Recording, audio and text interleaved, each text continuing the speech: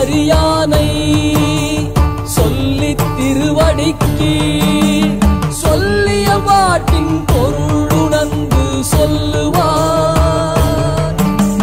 செல்வர் சிவபுரத்தின் உள்ளார் சிவனடிக்கீ